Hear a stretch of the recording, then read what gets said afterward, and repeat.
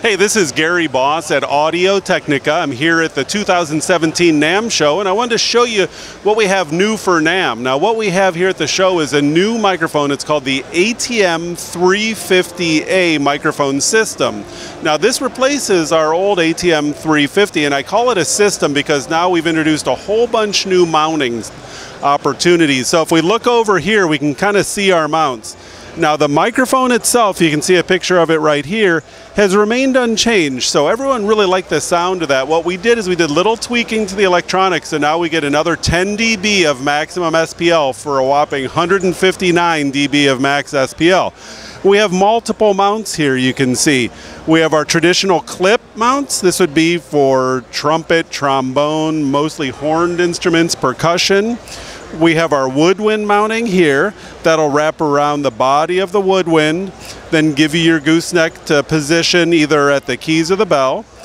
We have the piano mounting system, which is really nice. This is actually a magnet. So now we have a magnet mounting, which will go right on the harp of the piano. That comes with a nine inch gooseneck, so you can get really great positioning on that. And then we have this very unique drum mounting system. I'm going to show you all these in operation. We'll start with that drum mounting, which is up here. The thing that's nice about this, this mounts right on the lug of a drum. So it's very low profile, and now I can still access the tuning key with a regular drum key. As I said, this is a system and it's modular. I can actually take these goosenecks out, replace it with a longer one, or reposition it. Now I can mic from above take it out, position it to the side. Now I'm miking. I'm all doing this with one hand. I'm very impressive. Now I'm miking my drum uh, from the side in a very low profile configuration. We can see here the horn mount is very unique in the sense that once the clip goes on the bell of the horn, I can lock it down with this set screw so it can't accidentally move or come off. These are a new rigid gooseneck. We come over here, we can see my clarinet or woodwind mount.